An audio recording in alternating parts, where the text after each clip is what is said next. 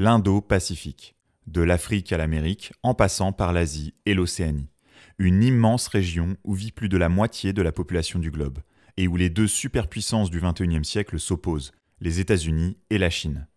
La France est le seul pays européen possédant également des territoires dans cette zone, et ils font l'objet d'enjeux diplomatiques, économiques et sécuritaires.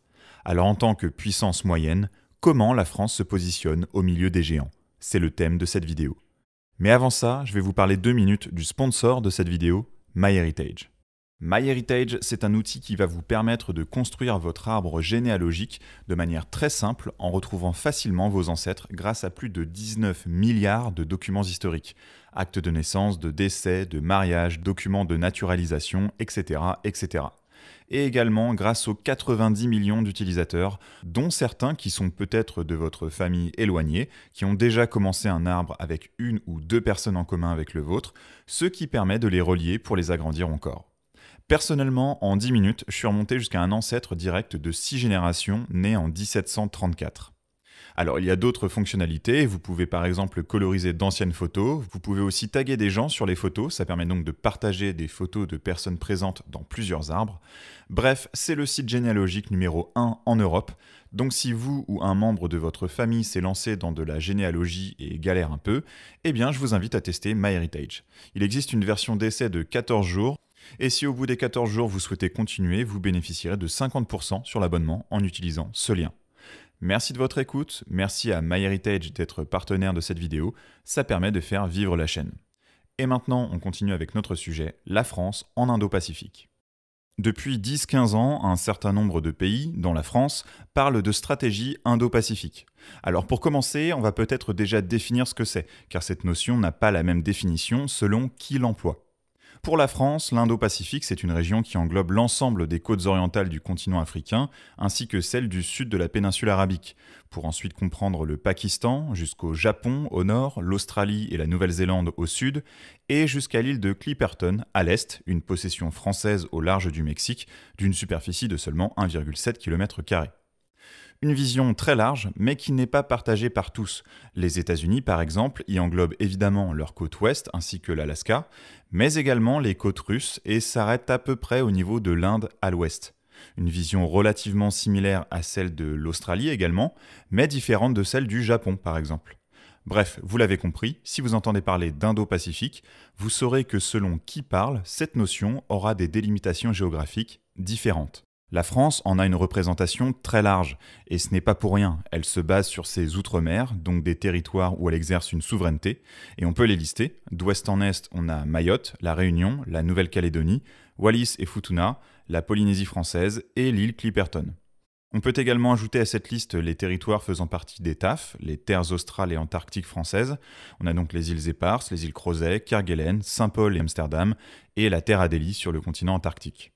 Alors les TAF ne sont pas peuplés de manière permanente, mais contribuent à agrandir la ZE française, la zone économique exclusive, territoire marin où la France a l'exclusivité sur les ressources s'y trouvant notamment.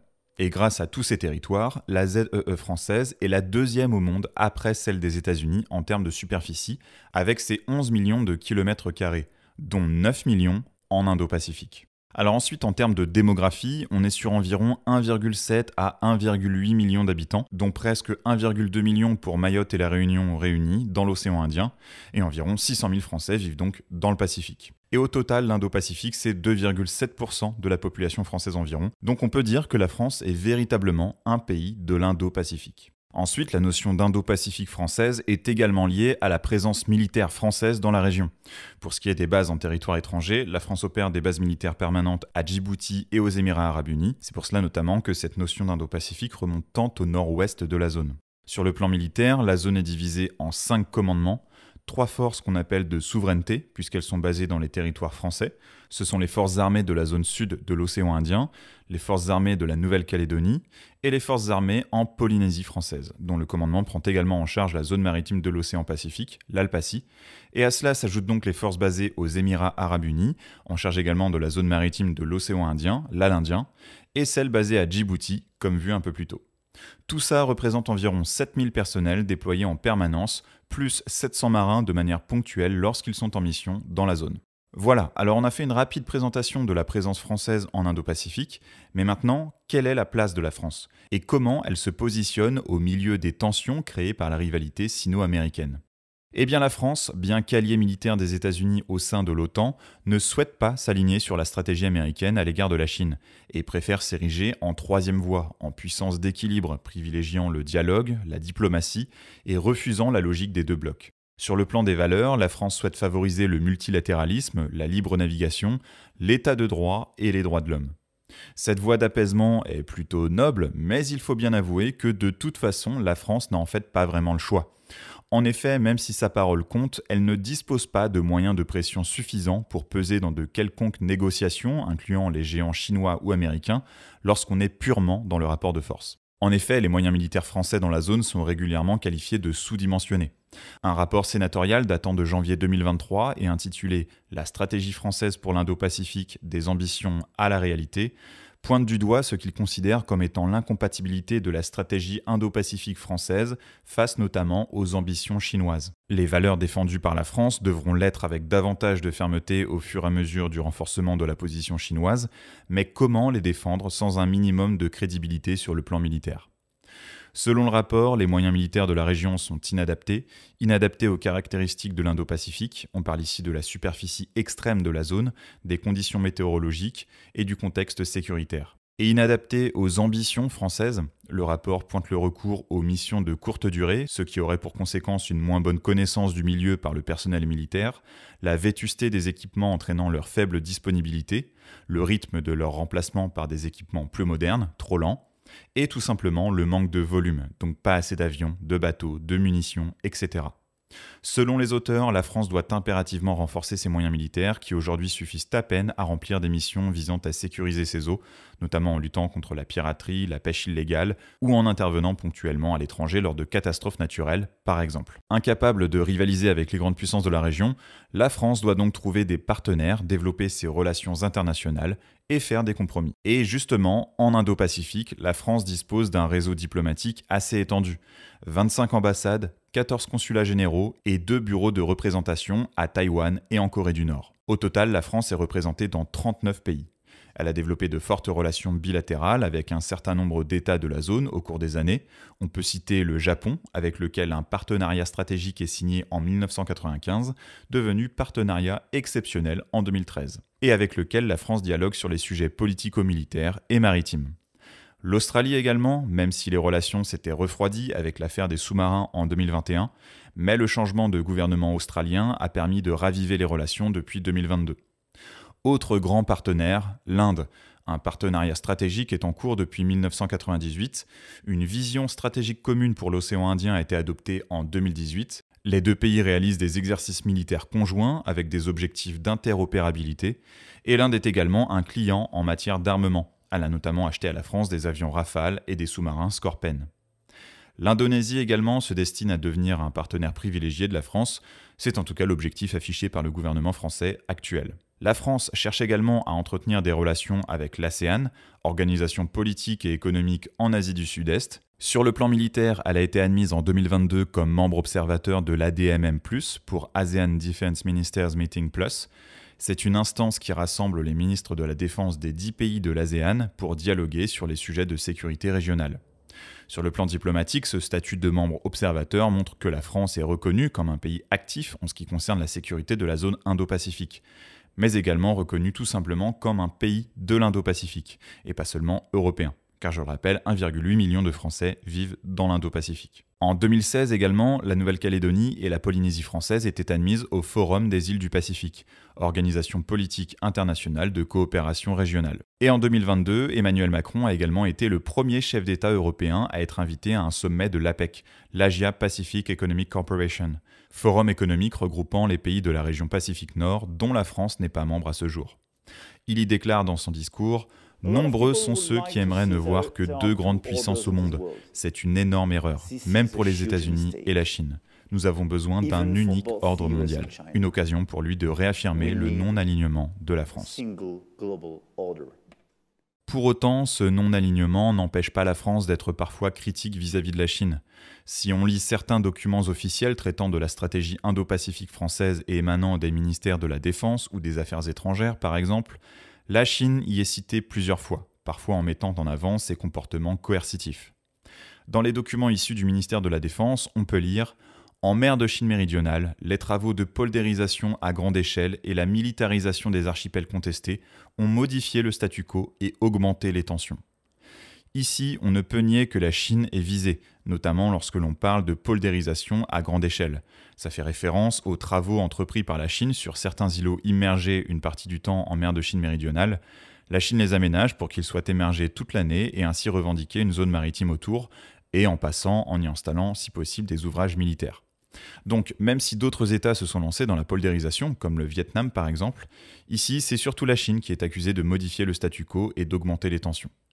On peut lire également le développement d'une capacité militaire de premier rang constitue autant une ambition statutaire qu'opérationnelle, ou, alors que sa doctrine nucléaire publique reste articulée autour du non-emploi en premier, l'évolution rapide des capacités chinoises de dissuasion pose question. Et encore, la Chine est devenue un rival systémique pour l'Union européenne, tout en demeurant un compétiteur économique et parfois un partenaire diplomatique de premier plan. Donc la France joue quand même l'ambiguïté. Troisième voie, puissance d'équilibre, ne pas jouer le jeu des deux blocs. Oui, mais on retrouve quand même une critique assez évidente des développements économiques et militaires chinois. Alors pour nuancer, on notera que les États-Unis sont également critiqués dans des documents officiels. Citons l'actualisation stratégique 2021 les États-Unis ont pris, depuis 2017, plusieurs décisions remettant en cause les institutions et les accords multilatéraux. Ces inflexions nationales accélèrent la déconstruction de l'ordre international. En fait, l'intérêt de la France, c'est bien le maintien de cet ordre international, et dans le cas présent, régional. Et il faut bien avouer qu'on trouve davantage un intérêt commun avec les États-Unis dans ce maintien de ce statu quo, notamment sur la question de Taïwan, qu'avec la Chine, qui souhaite de son côté avancer pour aboutir à une réunification chinoise et un contrôle de l'île. Pour terminer, nuançons un peu, la France reste certes une puissance moyenne dans la région, mais on ne doit pas oublier qu'elle détient certains atouts majeurs. Déjà, c'est le seul pays membre de l'Union européenne de la région. Elle pourrait être le fer de lance de la stratégie européenne en Indo-Pacifique. D'ailleurs, celle-ci est plutôt globalement cohérente avec celle de la France. Elle prône également la stratégie de la troisième voie, même si des divergences entre États membres existent sur le positionnement à avoir à l'égard de la Chine. Et on notera également la volonté d'établir un accord de libre-échange entre l'Union européenne et l'ASEAN. Ensuite, c'est un membre permanent du Conseil de sécurité de l'ONU, avec une voix qui compte donc plus souvent que les autres.